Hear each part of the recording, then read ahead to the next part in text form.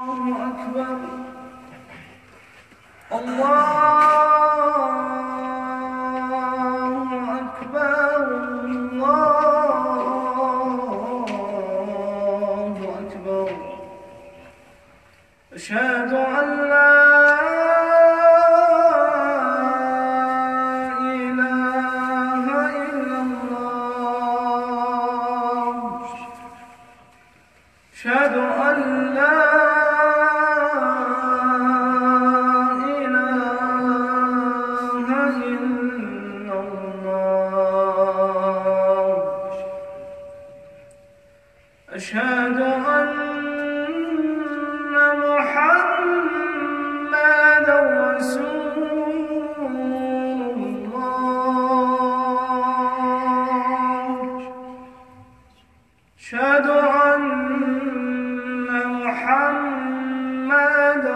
Jesus.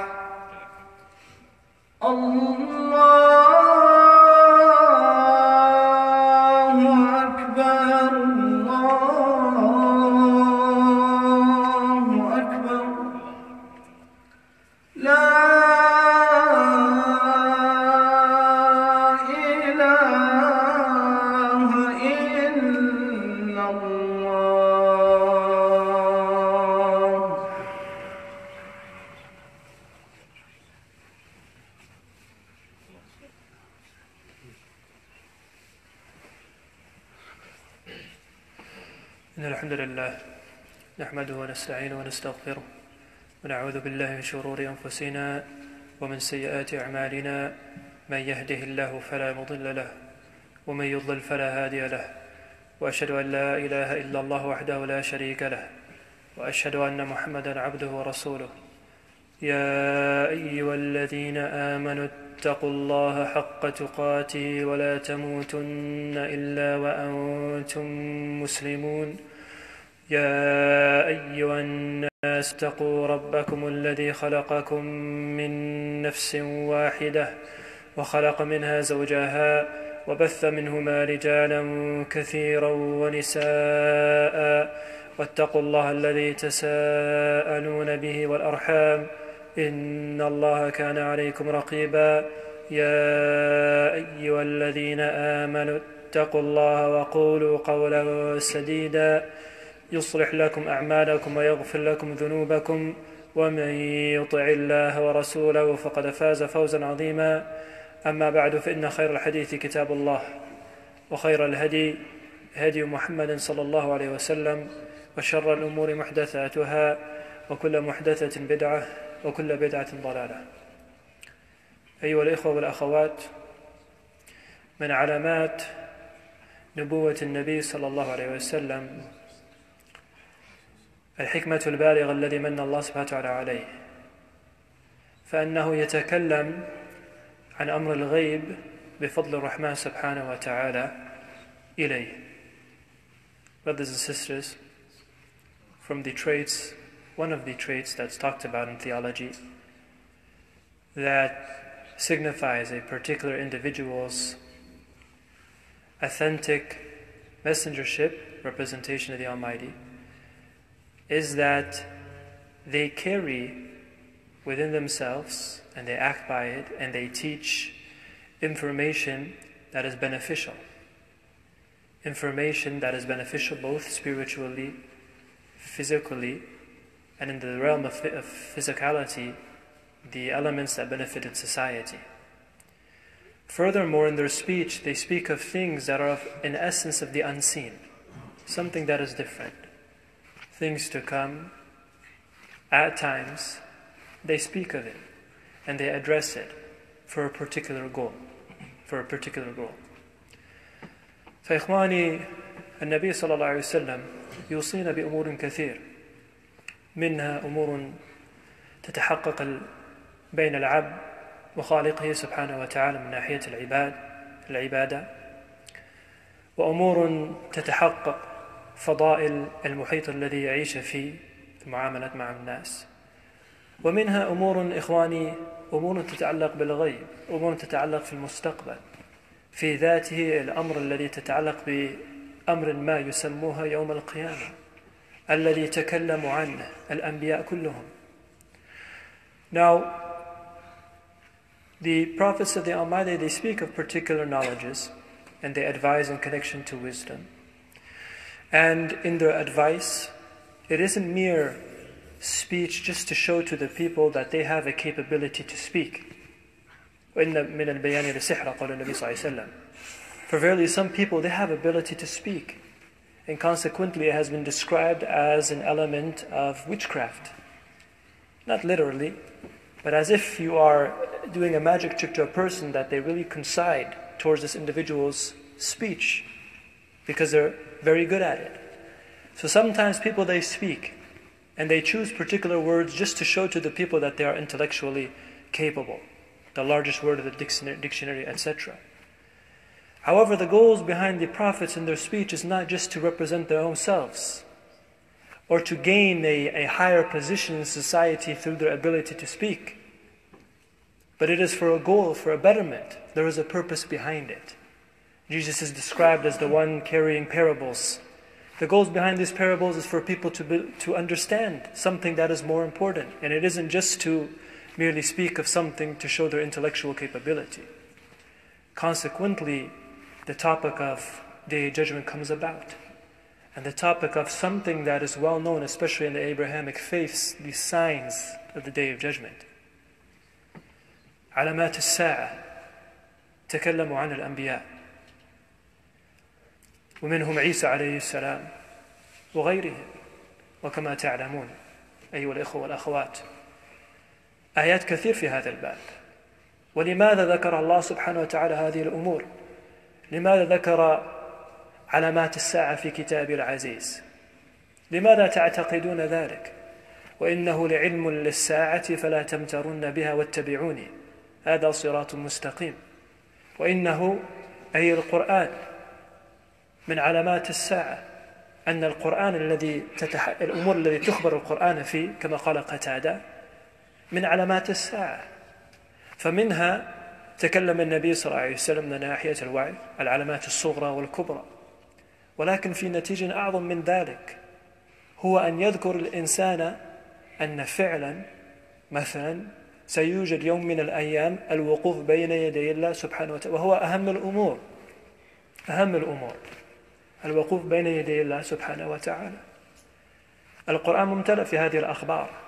أحاديث النبي صلى الله عليه وسلم ثابتة عنه ممتلئ هذه الأخبار. وكذلك الكتاب المقدس الذي يروى عن عيسى عليه السلام ممتلئ بهذه الأخبار. وغير ذلك. So we have these goals and this topic of day judgment comes about. It has been an ambiguous topic. And through the ages you find individuals that attempt to prescribe a, prescribe a particular date for this time frame. And they look to particular textual references and they say that it's supposed to happen during this time and or this time. And we're still standing till this day. So there is a type of infatuation on this topic. There is no doubt about it. However, if we take a step back and we look to these textual references, the goal is not that you and I go and we do mathematical equations. Do you see? To figure out a particular date. The goal is not to say, for example, it will happen the year 2017, on May, on a Friday, etc., necessarily. The goal is that there is something behind this element, and it is the concept that indeed one day a person will stand before the Almighty. This is the goal behind it all. People have overcomplicated the matter. But there is a purpose behind it, maqasid al-sharia, the goals behind the teachings that are taught within the sharia. There's a time in which a person stands before the Almighty subhanahu wa ta'ala. فعلامات الساعة إخواني كثير ونحن نؤمن أن النبي صلى الله عليه وسلم قد أوحي من الله سبحانه وتعالى وما ينطق عن الهوى إن هو إلا وحي يوحى كذلك عيسى عليه السلام كذلك موسى عليه السلام إلى آخره من أخبار الله سبحانه وتعالى للعباد فأنه النبي صلى الله عليه وسلم تكلم في أمور كثير. بني على هذا الأخبار بني على أمر الغيب الذي تتعلق بالخالق الذي يوحي إليه. فالنبي صلى الله عليه وسلم بعد ما انتشرت الإسلام مثلا ودخلت الإسلام في مكة المكرمة وجزيرة العرب قال النبي صلى الله عليه وسلم إن الشيطان قد أيسى أن يعبد في هذا البلاد أبدا. قول النبي صلى الله عليه وسلم معنى خلاص قد انتقلت الأمر دار توحيد. ولكن سيفرح الشيطان يقول النبي صلى الله عليه وسلم يروى عنه هذا الأخبار في سنة الترمذي وغير ذلك. سيفرح بأفعالكم الذي تعتقدون أنها أمر صغير فأنه يفرح بذلك هي تعتبر معاصي فأنه يفرح بذلك. الشاهد وراء ذلك النبي تكلم عن أمر الغيب في المستقبل. فليس الشيطان يعبد في هذه البلاد أبدا. خلاص قد ثبتت الأمر ستبقى على هذا الأمر. إلى يوم القيامة وتحصل يوم القيامة في وقت لا يوجد لفظ يقولون العباد الله الله ففي ذلك لا يقولونها خلاص غيرت الظروف كاملا ولكن إلى وقت إلى ذلك الوقت تعبد يعبد الخالق سبحانه وتعالى So now we have a teaching Prophet ﷺ in which in a scenario some had spread and is in this religious sanctuary is considered among Islamic theologians. And in this time period, Mecca becomes a populace that is majority Muslim, Medina, etc., these various areas. And the Prophet tells them that this particular areas, these sanctuaries, will continue to remain a monotheistic society. It will continue to remain a monotheistic society. But what will happen? People will make mistakes and people will sin. And they will make mistakes and sin in things they consider small, but is actually something serious. Whatever the case, he talked about this remaining in such a fashion. But the time will come in which the concept of this day judgment does come about, in which the description is during that time, the word the Almighty, the concept of prayer to God, the concept of God, Allah Himself, even His name, the concept of this monotheistic God, is not mentioned at that time anymore.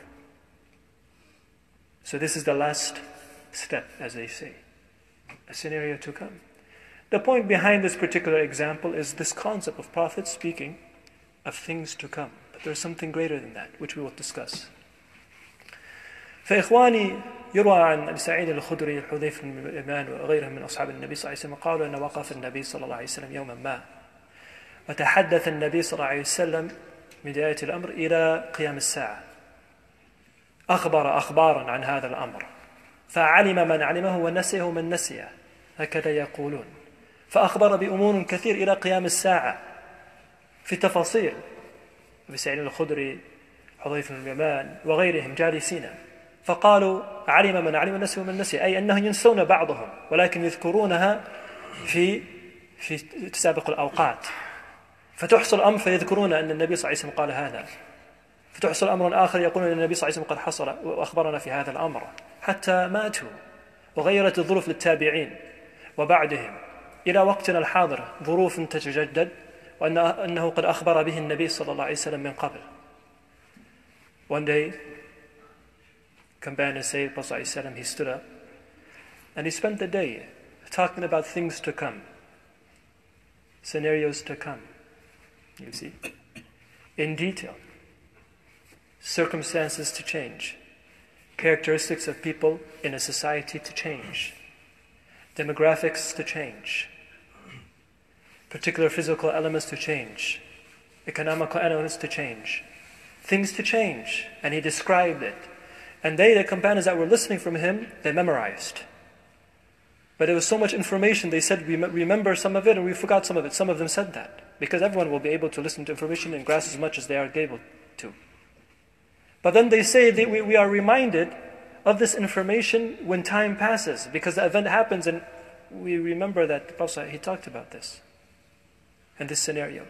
Their time passed, the next generation, same thing. Their time passed, the next until our time. And the circle continues to move. The circle continues to move.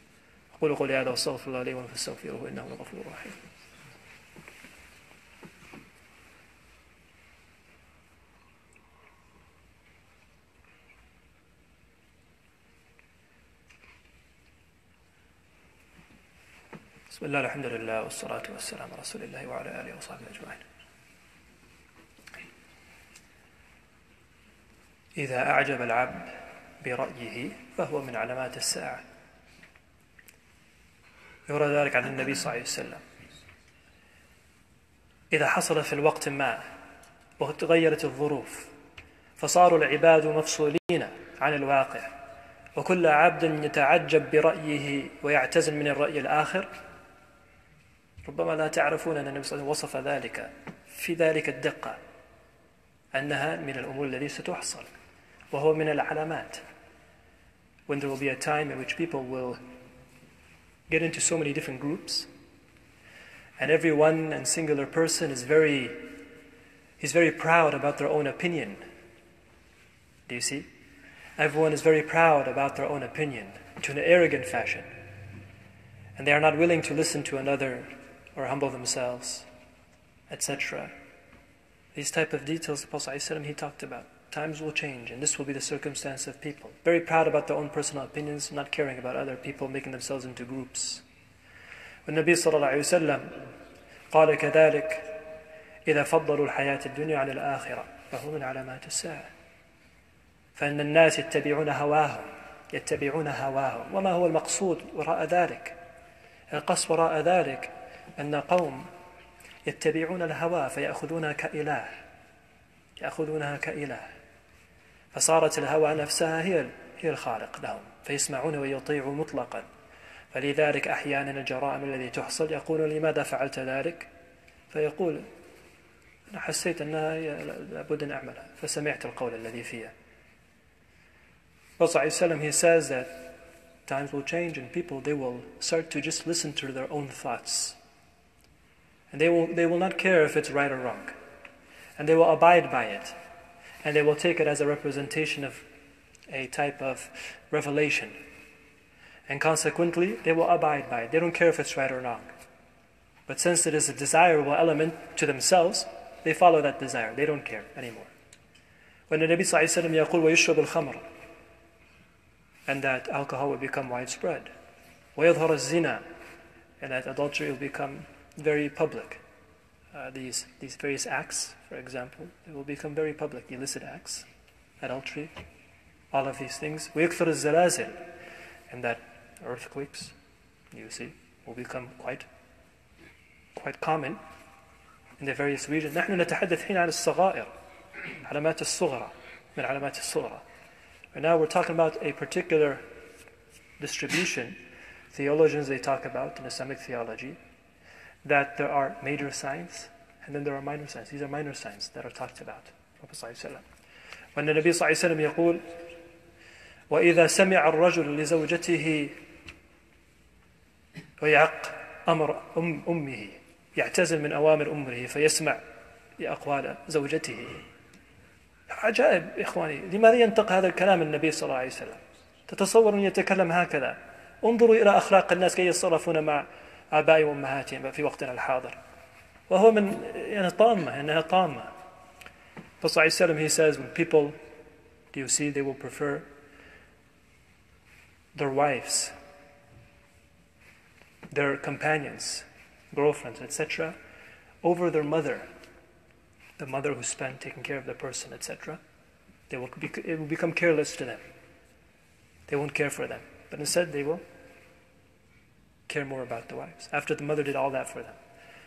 When Nabi صلى الله عليه وسلم يقول والرجل يتقرب لأصدقائه ويجتنب أبيه لا يتعامل معه بالخير ولا الطيب. And Prophet ﷺ, he said a person will become very good with his friends. You see, he will love his friends so much and he will be kind towards them, but when it comes to his father, he can care less about his father. These are words precisely Prophet ﷺ is saying. Either if you believe in the day of judgment or not, it's your choice. There are goals behind information that is taught. Do you see there are goals? You believe in judgment or you don't. At least be dutiful to your parents. Do you see? At least be kind to your mother.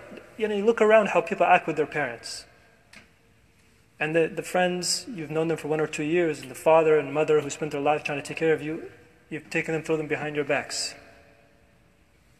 ويقول النبي صلى الله عليه وسلم ويرفع الأصوات في المساجد يرفع الأصوات نحن لا نتحدث عن الأذان ولا القرآن القتال الذي مثلا تحصل في المساجد يعني أو الاحترام قلة الاحترام الذي تحصل في المساجد and that illicit loud voices will happen in the mosques disrespect will happen in the mosques fights will happen in the mosques places of worship these type of things look at these places of worship around the world disrespect loud voices fights etc والرجل يتعلم العلم من أمر دنيوي قول النبي صلى الله عليه وسلم and people they will attempt to study religious knowledges for worldly matters for worldly goals the people can say this guy is knowledgeable you see this the people can say that this guy is knowledgeable so we're going to give him our respect it becomes worldly matter things that become worldly matter per se as it's described فلا حديث كثير إخواني حقيقة لمن وقف وتدبر ويداهمنا الوقت. وإذا نظرت إلى كتب حديث وسلم يروي عنه الثابت ممتلئ الأخبار في هذا. والقرآن تتحدث عن ذلك. وإنه لعلم للساعة فلا تمترن بها واتبعوني. هذا صراط مستقيم. فقد جاء أشراطها فأنى لهم إذا جاءتهم ذكراهم. فاعلم أنه لا إله إلا الله واستغفر لذنبك والمؤمنين والمؤمنات. والله يعلم متقلبكم ومثواكم. فممتلئ الأخبار يا إخواني ممتلئ لا شك في ذلك Quran talks about there's a lot of information on this topic and it has been a topic in history in theology especially that has been a, a means for ambiguity it has been a means for uh, a sense of transgression upon a person's self and also upon others ليست المقصود منا بعد كل ذلك أن نكتب الأيام ونقول أن القيامة ستحصل في هذه الوقت المعين في الشهر الفلاني في هذا الوقت المعين. أخبرنا الله سبحانه وتعالى بأمور غيبي وليست المقصود منا نجعلها أمر رياضيات مثل الرياضيات. كما تعرفون في وقت صلاح الدين أيوب تقريبا في القرن الخامس حصل رياح شديد وتغيرت الجو إلى آخره فظن بعض الناس أنها قد قامت الساعة. هذا حصل قبل مئات من السنوات عند المسلمين. فقاموا أهل العلم ونصحوهم. قالوا لهم ما زال في أخبار لم تحصل. لماذا تستعجلون؟ وفي ذاته في أمور أكبر من ذلك. ليست المقصود أن نستعد للقيامة في ذاته. في الوقت في ذاته بل المقصود منا أن نستعد ليوم تخرج منا الروح للانتقال إلى دار الآخرة هذا المطلوب منا. إن كنا نريد أن نقف ونتفكر قليلا. فإن الموت تأتي بوقتة ولا لا ندري متى هو وهو أقرب وكل عنده كل شيء عنده بمقدار سبحانه وتعالى So what had happened, this has been a topic again of confusion and at times haste and at times transgression. Even in the about the fifth century, some natural disasters may have happened. So people during that time they said, the day of judgment is here, it's come. It has come. And the people of knowledge understand, they told them, calm down. Do you see, calm down? There are still things to come. And it isn't the goal from us, do you see, to attempt to throw ourselves into destruction. This isn't the goal behind all of that. There is wisdom behind this information. Furthermore, there is something that is nearer to every one of us. The concept of death is much nearer to every one of us than the concept of something that, for example, a thousand years ago, still remains.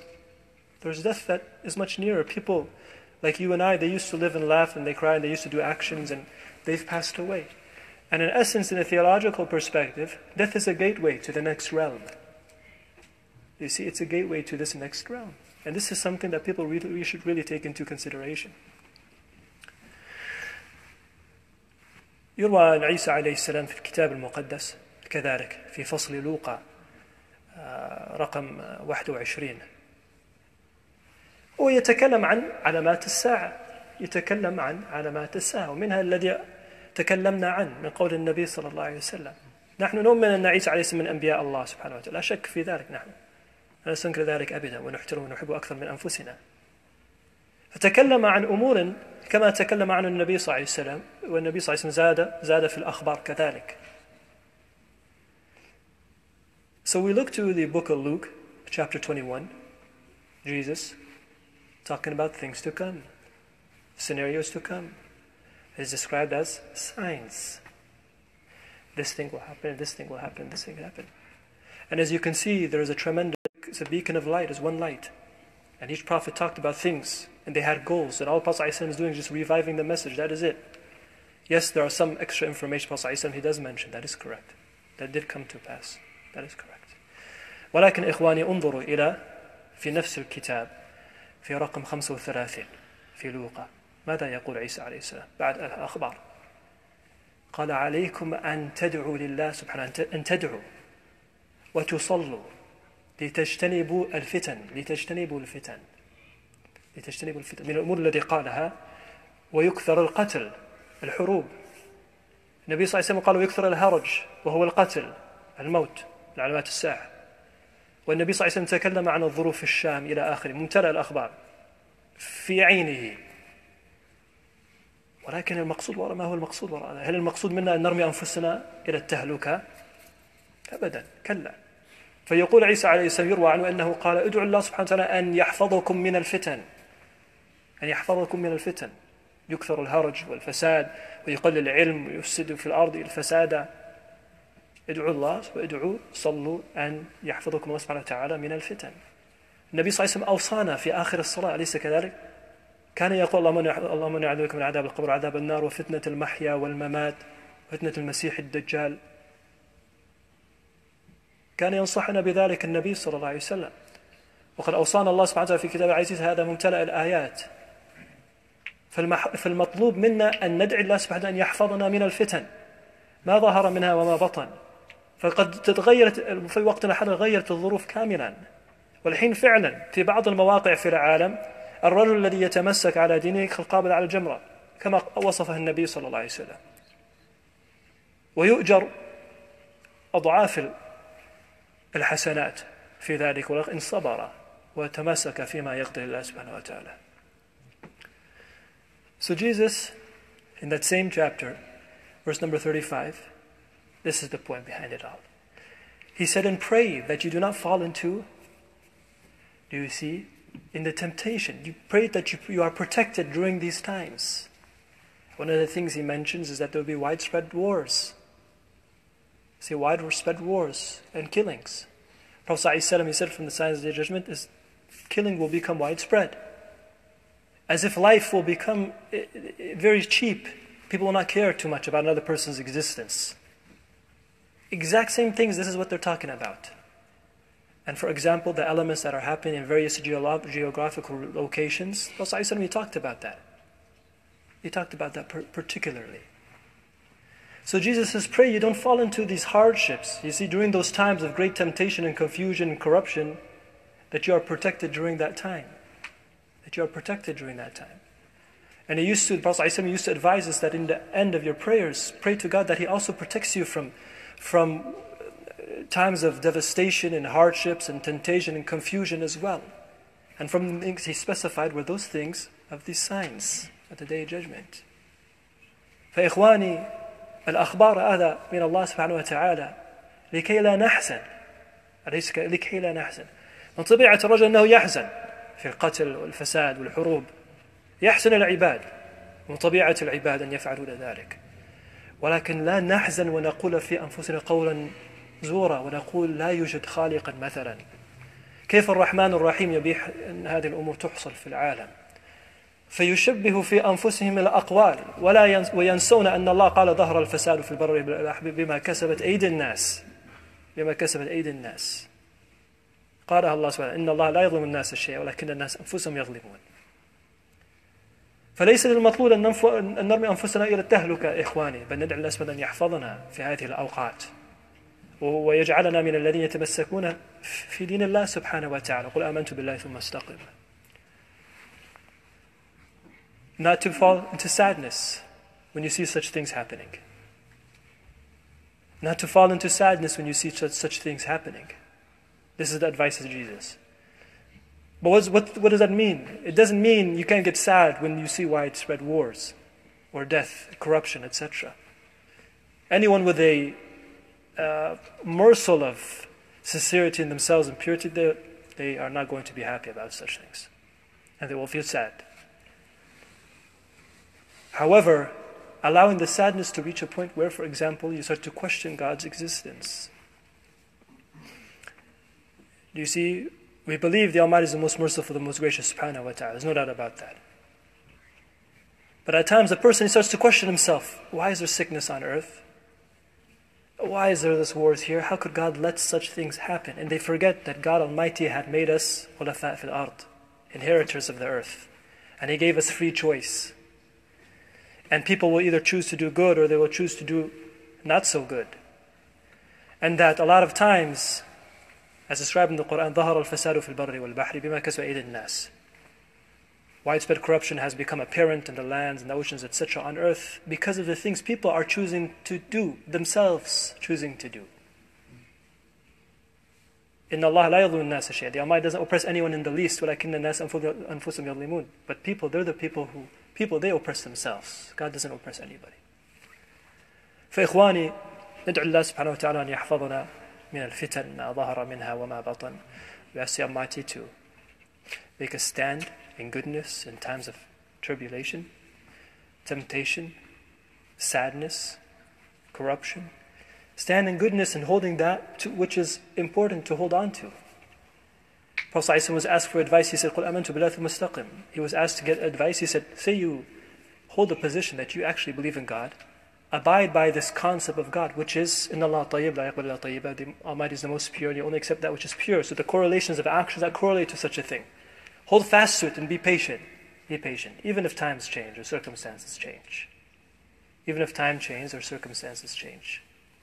والله تعالى أعلم ربنا آتنا في الدنيا حسنة وفي الآخرة حسنة وقنا عذاب النار ربنا ظلمنا أنفسنا وإن لم تغفر لنا وترحمنا لنكونن من الخاسرين لا إله إلا أنت سبحانك إنا كنا من الظالمين لا إله إلا أنت سبحانك إنا كنا من الظالمين. ربنا ظلمنا أنفسنا وإن لم تغفر لنا وترحمنا لنكونن من الخاسرين. سبحان ربك رب العزة عما يصفون وسلام على المرسلين والحمد لله رب العالمين.